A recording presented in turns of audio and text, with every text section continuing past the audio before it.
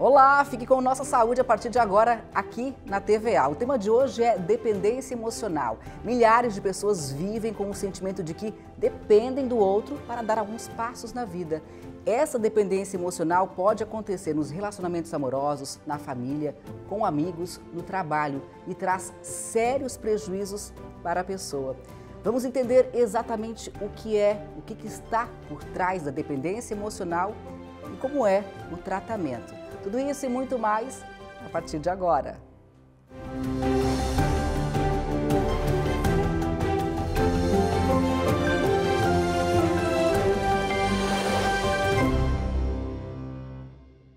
E para falar sobre esse assunto, eu recebo agora aqui no estúdio a Gisele Deschen, que é psicóloga cognitivo-comportamental. Gisele, muito bem-vinda aqui ao Nossa Saúde, que prazer te receber novamente. Obrigada, obrigada, Rafaela. É um prazer estar aqui com vocês de novo. É sempre bom poder contribuir né, com conhecimento, reflexão, discussão sobre temas tão importantes, né? Para a nossa vida, para a nossa saúde mental. Trazer informação de qualidade. Sim. A gente vê hoje tanta informação aí dissimulada na internet Sim. e às vezes não tão corretas, que às vezes uhum. mais atrapalham do que ajudam. Exatamente. Né, Gisele? Sim. E para começar, né, a gente vê aí que milhares de pessoas sofrem de dependência emocional. O que exatamente define essa dependência? A dependência emocional, ela ela está configurada de várias formas, assim, tem várias variáveis, vamos colocar assim, né? Ela ela é um sentimento, né, de necessidade do outro, ou seja, né, que tem vários níveis até. É, eu dependo, eu necessito da presença daquela pessoa eu necessito de uma orientação daquela pessoa, eu necessito do amor daquela pessoa, como se para eu viver, não é? Existem vários níveis, né, dessa dependência.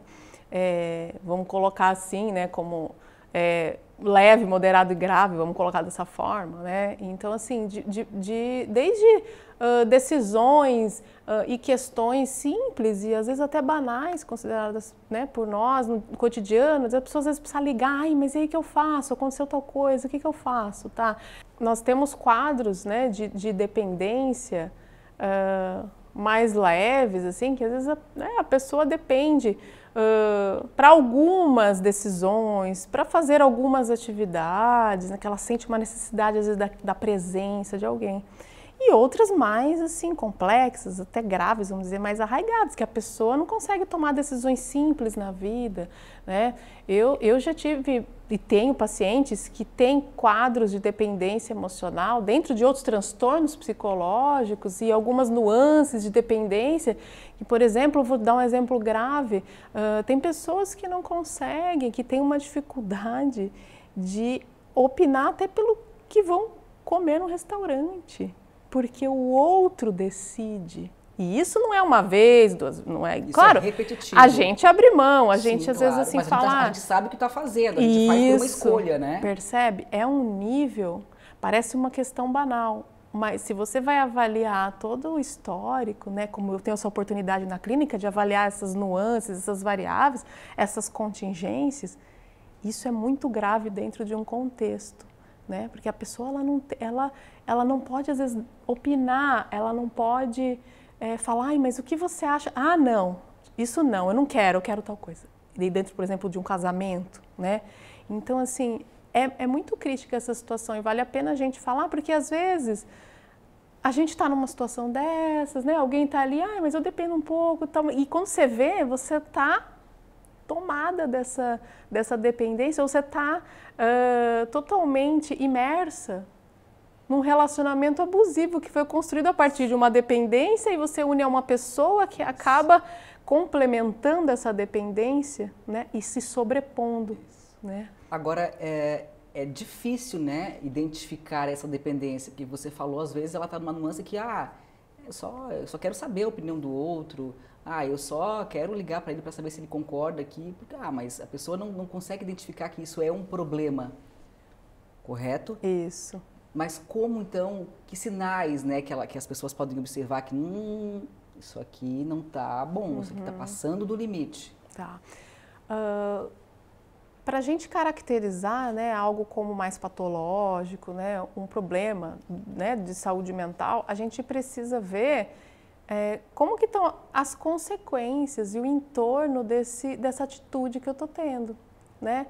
Eu estou mantendo ali uma relação de submissão, às vezes, né? Eu estou aceitando, eu estou tolerando algumas coisas que às vezes eu nem percebo, né? Só que assim, isso em quais âmbitos, né? É aquilo, quanto mais áreas da vida eu, eu tiver essa, esse sentimento e, e, esse, esse comportamento, mais prejudicada eu tô.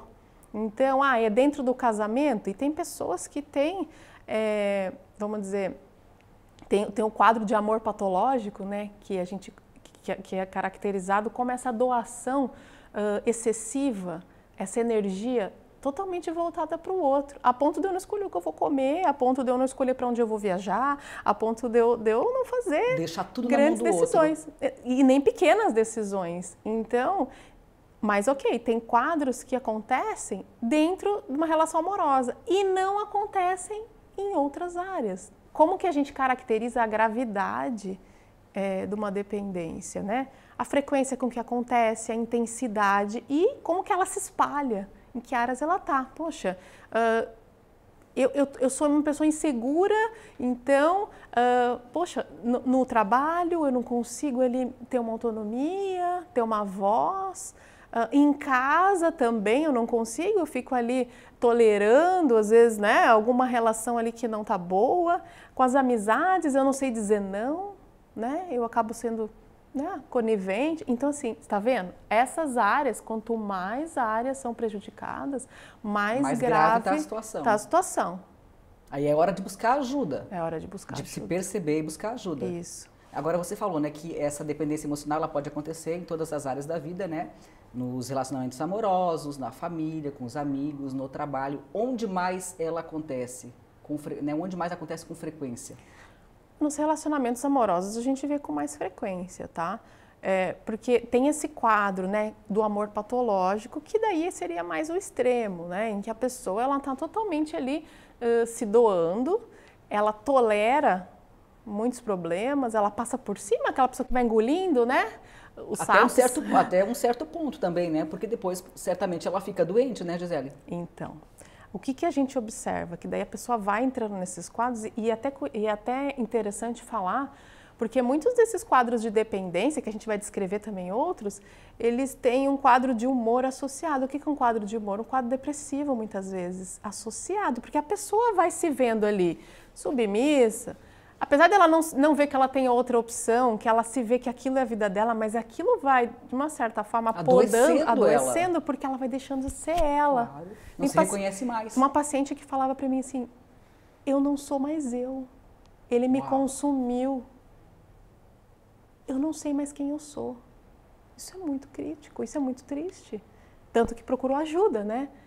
Mas às vezes as pessoas vivem uma vida inteira e não se dão conta. nesse padrão, não se dão conta ou não acreditam que tem outra opção, né? Ou que acham. Ou tem medo também. Tem medo, né, tem medo, porque daí o que, que aí também se cria uma relação de abuso tóxica e muitas vezes de violência, né? Que daí seria o extremo, né? Mas às vezes é uma coisa mais sutil, não tem uma violência, não tem uma agressão, mas é uma coisa mais assim. A pessoa tem um ciúme.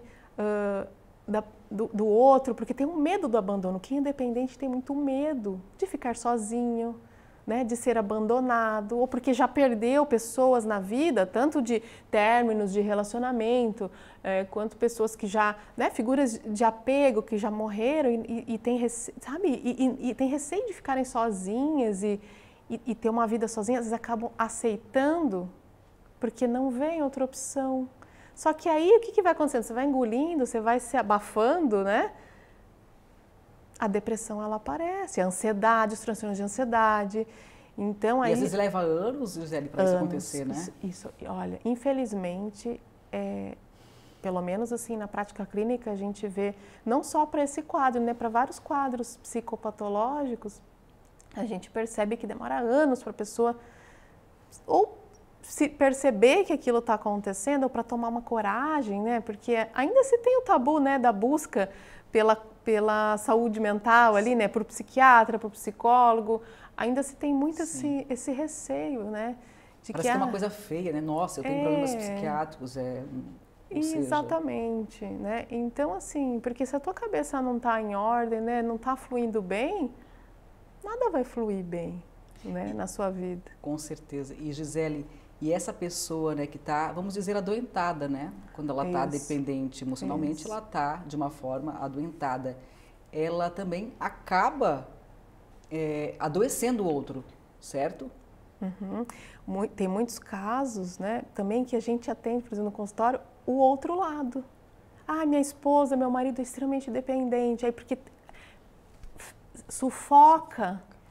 Então acaba sendo uma relação abusiva, vamos dizer assim, mas sem aquela intenção, né? Ou às vezes, né?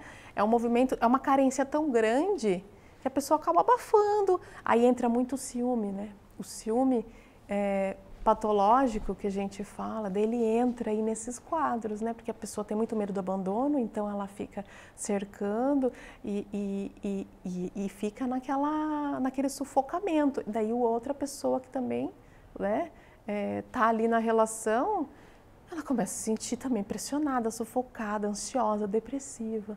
Então a gente sempre tem que lembrar né, que esses, né, a depressão e a ansiedade elas, apare elas podem aparecer nesses quadros, nessas relações, né, não só, como você falou, o outro lado também, né, a pessoa que está ali arcando com aquela dependência, vamos dizer, né, nem sempre essa pessoa ah, é, é a pessoa abusiva, é a pessoa que vai lá e é violenta. Não, não é, tá?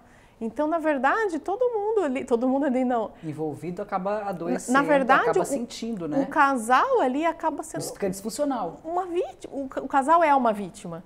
Né? Não quer dizer Sim. que ah, um tem uma intenção Sim. e não é. Todo mundo precisaria de tratamento, se a gente colocar nessa forma, né?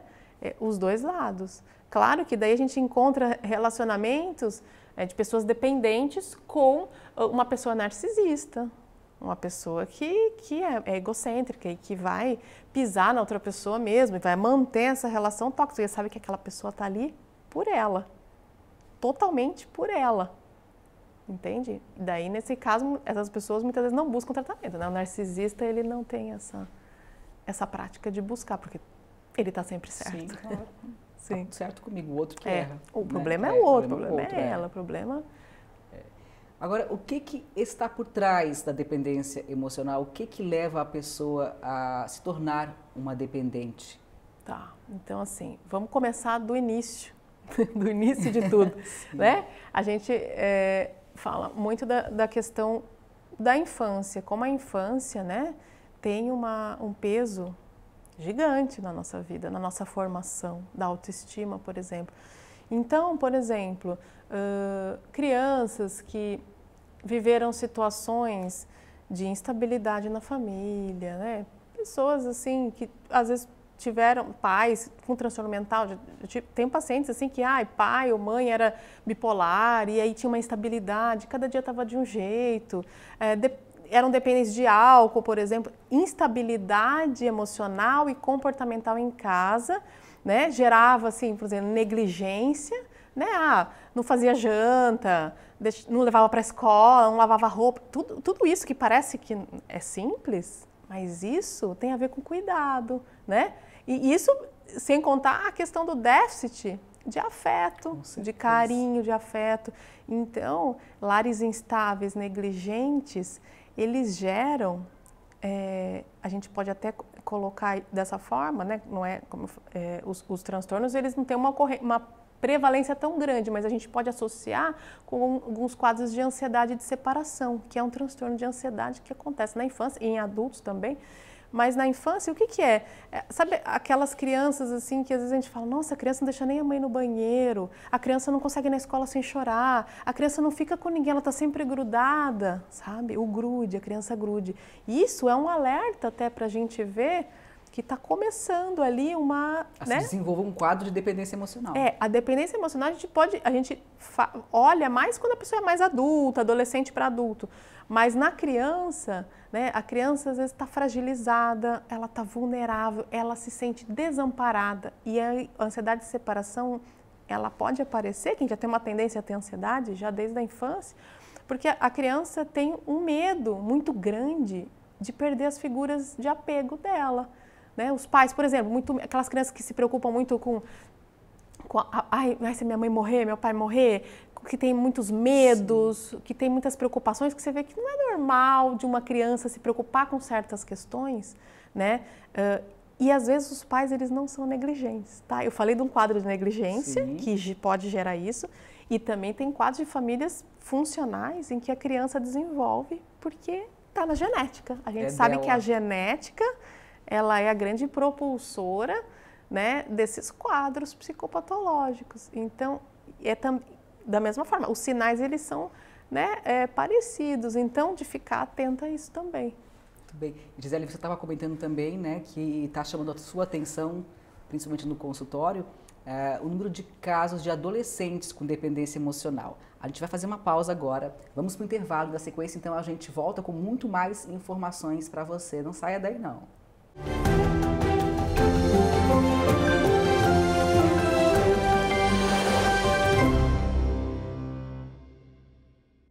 Estamos de volta com Nossa Saúde. A gente segue o nosso bate-papo hoje aqui conversando com a psicóloga cognitivo-comportamental Gisele Deschen sobre dependência emocional.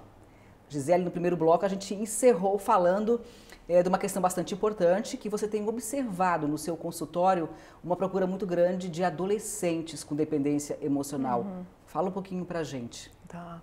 É, a adolescência, ela já é por si só uma fase de instabilidade, né? É, alguns têm um nível mais leve de instabilidade, outros mais graves, e a gente começa até a, a ver, né, a perceber o início de alguns transtornos importantes psicológicos, para depois né, acompanhar e fazer um diagnóstico mais para frente.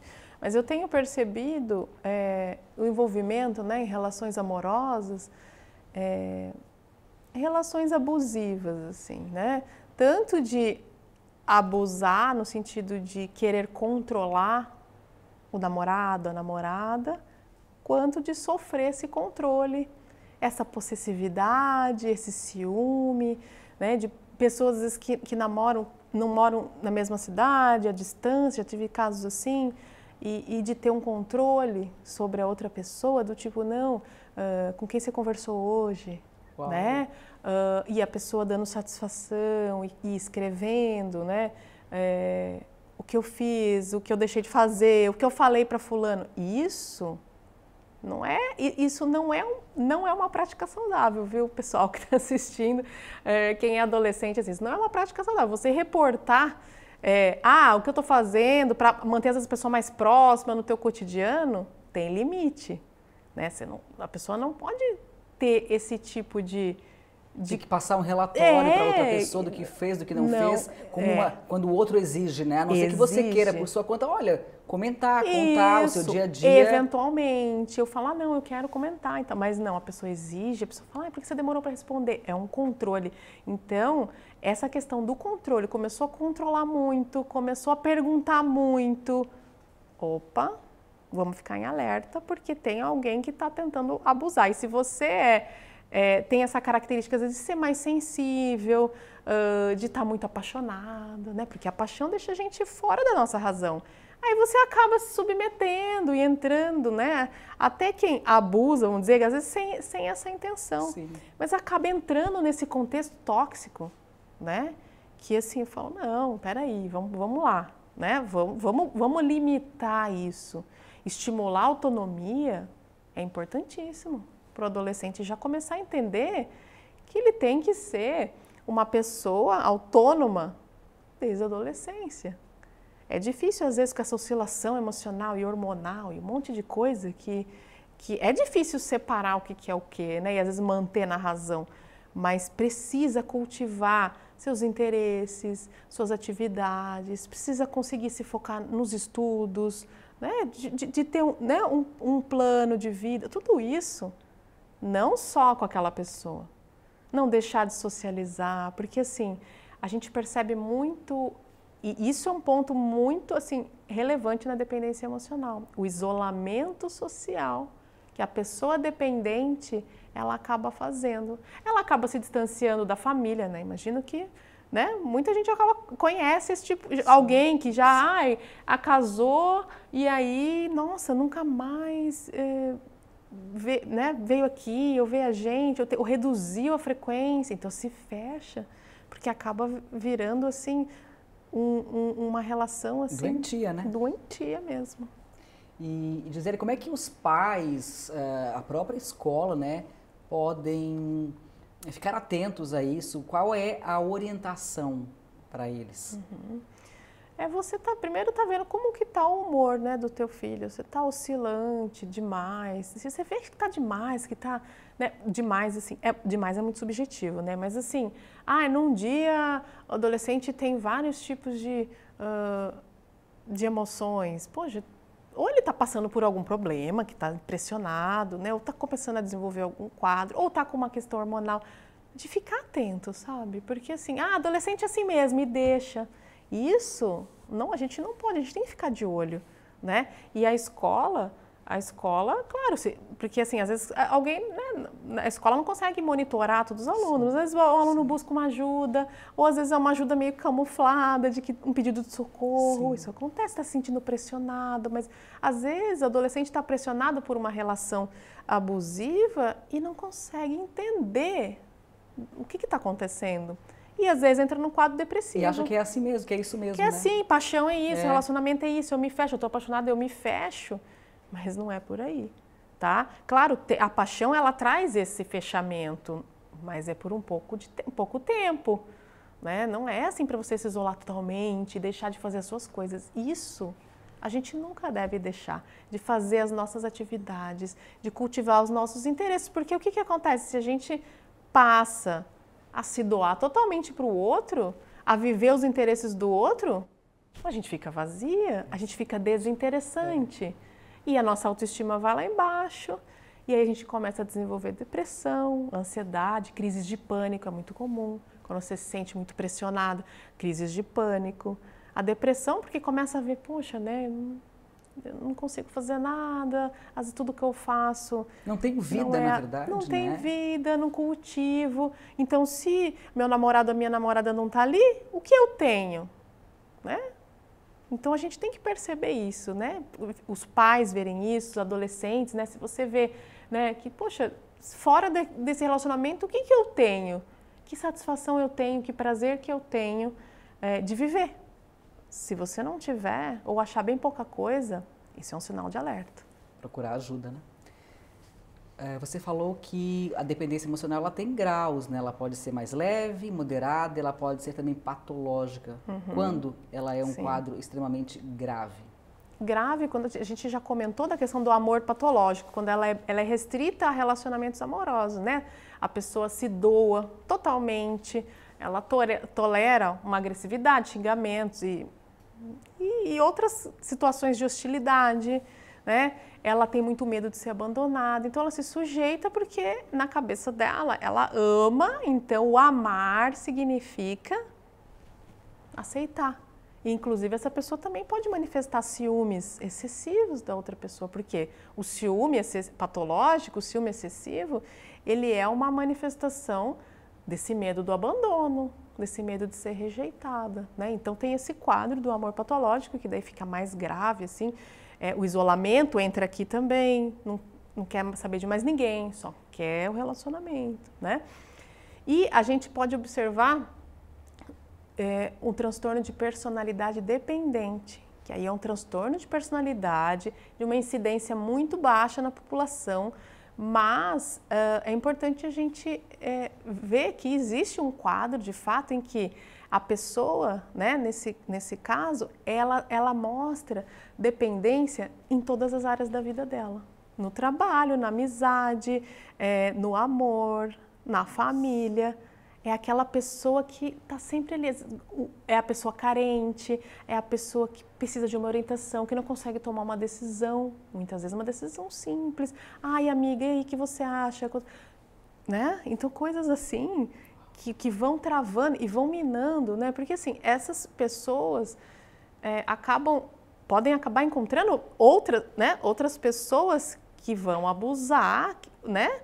Ou que vão fechar esse relacionamento né? E vão acabar outras também fazendo tudo por aquela pessoa.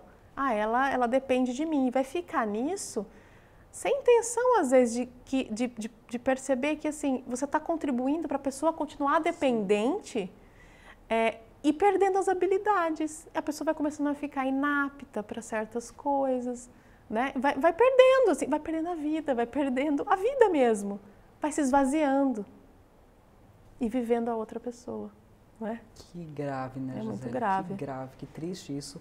Agora, a dependência emocional, ela também pode levar a casos de violência doméstica. A gente vai ouvir agora a, o depoimento da Ana Paula, que viveu né, abusos físicos, psicológicos. Ela acabou, graças a Deus, dando a volta por cima e hoje ela ajuda outras mulheres, acolhe mulheres que também passaram por problemas como ela passou. Vamos ver?